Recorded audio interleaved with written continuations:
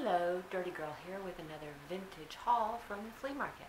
I had a really good jewelry day today and a few other odds and ends. And uh, so I'll just get started.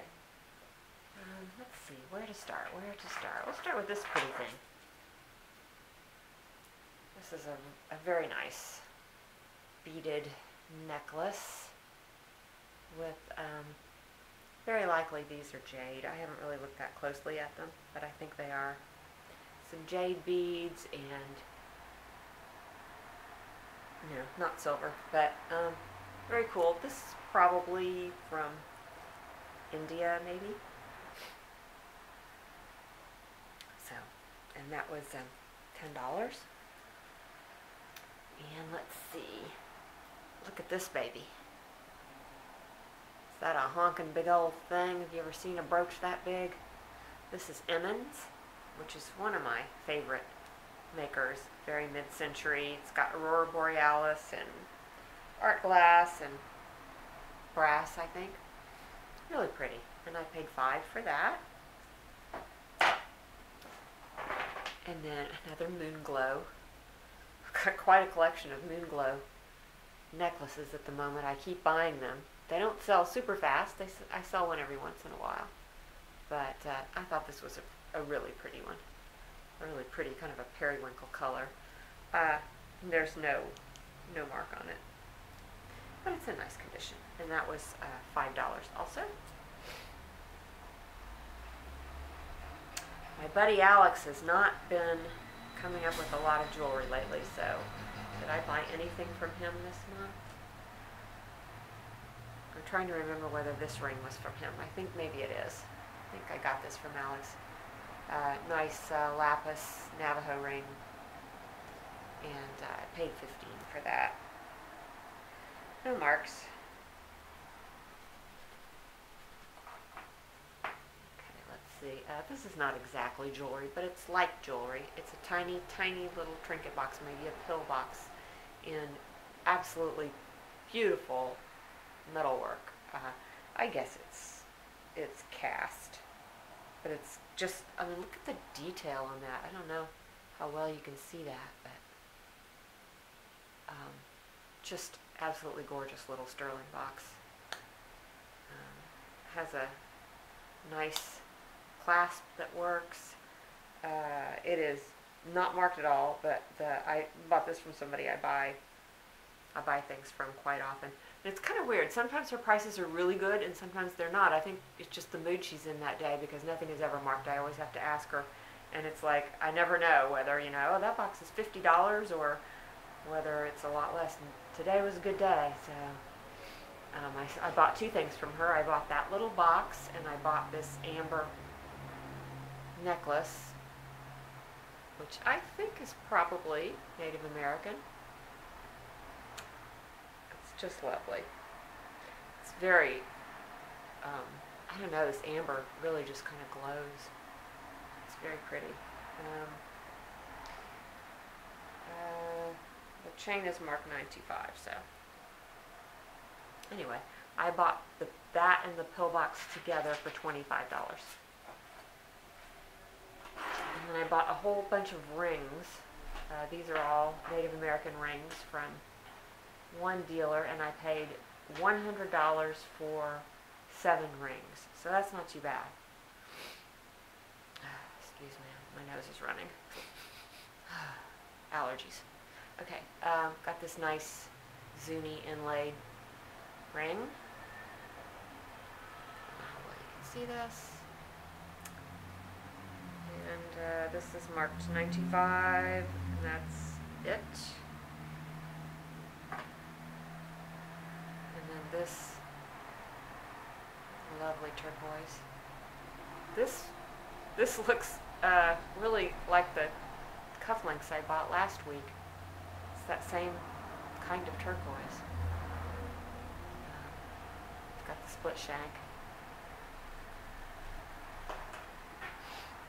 And then it's just a nice little turquoise ring.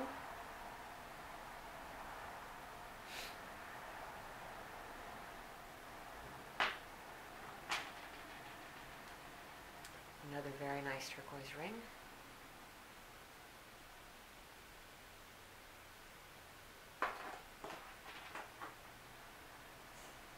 Little turquoise pinky ring.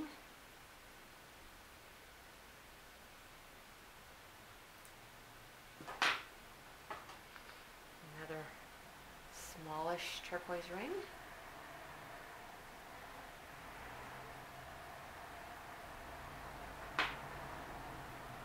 Lastly, a very nice looking coral ring.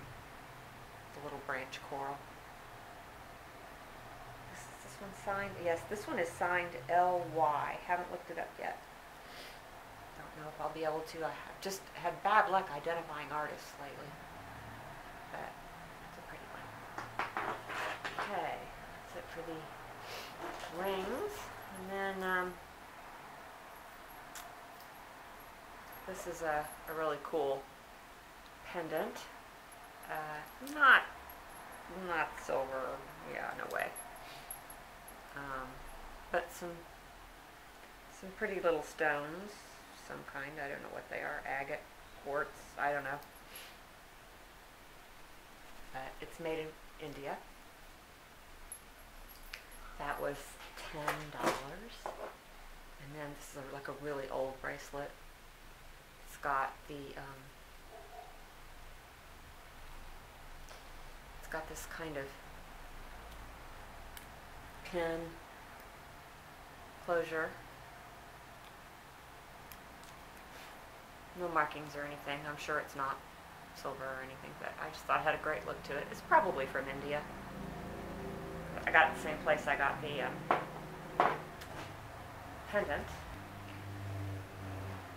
Um, let's see, what other jewelry did I get? Um, okay, so I bought these four bags. These four bags. I believe I paid ten dollars for the four of these bags, and these three were already bagged up. So I can show you what this looks like. This is really cool. This is a, a brooch made of shell and branch coral. So um, that was two dollars. And then we have bits of a broken broken necklace that look really old and I don't know what looks I don't know what but anyway two dollars for that and then two dollars for this which is just um, there's some some beads and uh, uh, some bone beads and some carved bone and other stuff. Just kind of a mishmash of broken stuff in here. Two dollars on that. And then this, I think, um, she had a cigar box that was just full of old buttons and things, and I fished through it and, and cherry picked some things I wanted, and so she charged me four dollars for this bag. And that included this sterling silver piece, which is fairly heavy. It's just marked 925, but it looks like um, it looks like a bag seal, like a lead bag seal, except it's made out of silver. Um, I haven't really figured out what that is yet. Um, it does have a hole, so I guess it's a pendant. And it says B. Kind of cool. And then um, I got some antique buttons. Like, is that cool? I love that one. And this. And then finally, this one. And then um, this pendant made of a wood. And there's this pendant, which I was hoping would be turquoise, but I don't think it is. I don't know. It's cold, but I think it might be. Um, I think it might be plastic, but it looks good anyway. and um, let's see. Oh, then this is um, a very nice cloisonne pendant, and that's old. That's old cloisonne. And then the last thing is this Japanese Satsuma It's a little Satsuma button. These buttons sell for about ten to fifteen dollars a piece. Um, it's better if you have a set of them, but anyway, so okay, so all that for four dollars. And then I got these um, these uh, blue moon beads, little replacement uh, stones. I thought these might come in handy, especially the turquoise. There's turquoise, amethyst, amber, quartz, onyx, and maybe, I don't know, maybe more onyx. I'm not sure. Um, yeah, it doesn't say, doesn't say what um, kind of stones they are, but anyway. I got three packages because I just, I just couldn't resist, and they because they were two dollars for each one, and I thought, eh, I wish they had coral, but that's what I really need is coral. Uh, and then this I also got for two dollars. I'm probably going to use it for the stones because I'm not, you know, all that crazy about the pendant. But those are turquoise. And then lastly, I got some rhinestones. They're Swarovski crystals. I wish I'd bought some more of those in different colors, but I didn't. Uh, okay, let's see. I do believe that is all of the jewelry.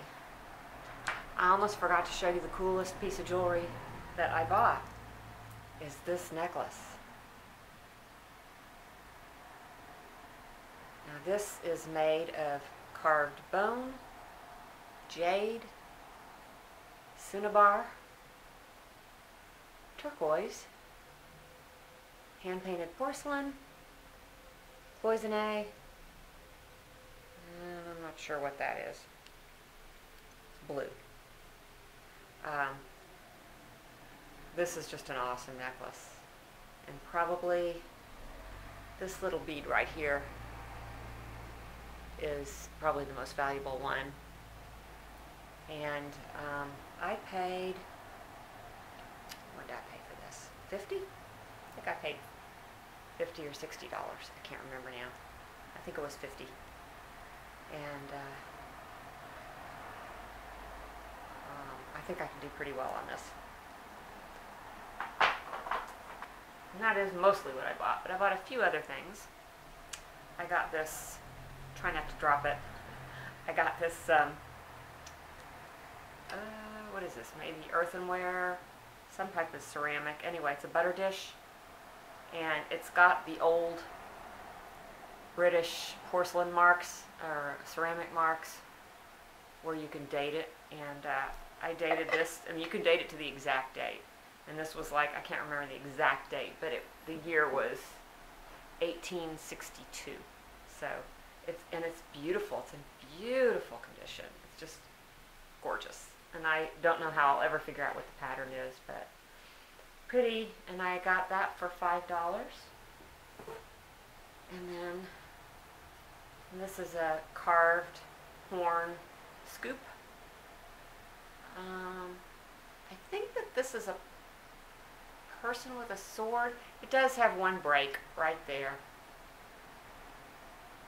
sure exactly what that is. I think this might be Scottish, and it is a, like a bovine horn. It's like a cow or an ox horn. And uh, that was $5. I see those selling for, I don't know, around 25 maybe.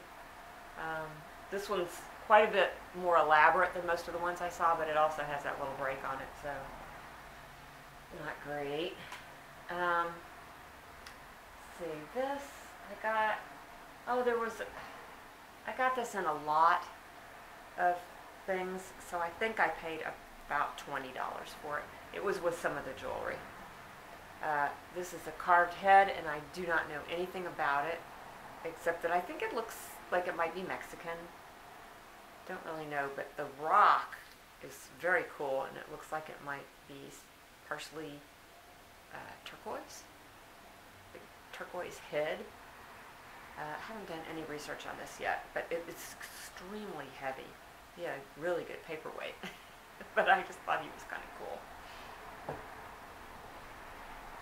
And then this paperweight, uh, same dealer, so I think I paid about ten for this.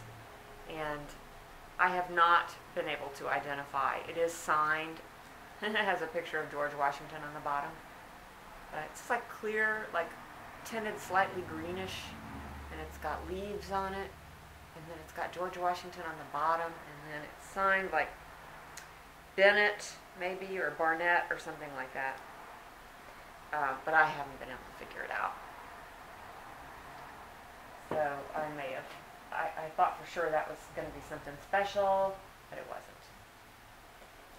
And then I got this cute little um, flask with a straw cover on it, and it's got this porcelain top with letters on it, and it opens. It's got a rubber seal. I'm assuming it was, uh, you know, to hold liquor. It's really, really too small to hold water. Um, but don't know too much about that. And I paid five dollars for that. And then I got these three. These are Florentine pictures. Now you can keep the pictures that are in them, or you can take the pictures out and use them as frames. The frames are what's really cool. These are particularly nice ones. I always sell these. Uh, any of the Florentine wood things seem to sell really well. Rattling around inside these. Uh, and I paid um, $5 for all three. Is that right? No, that's not right. I paid $10 for all three. They were originally $5 a piece. That's what it was. And then the last thing I bought is a little bit crazy. So let me see if I can show it to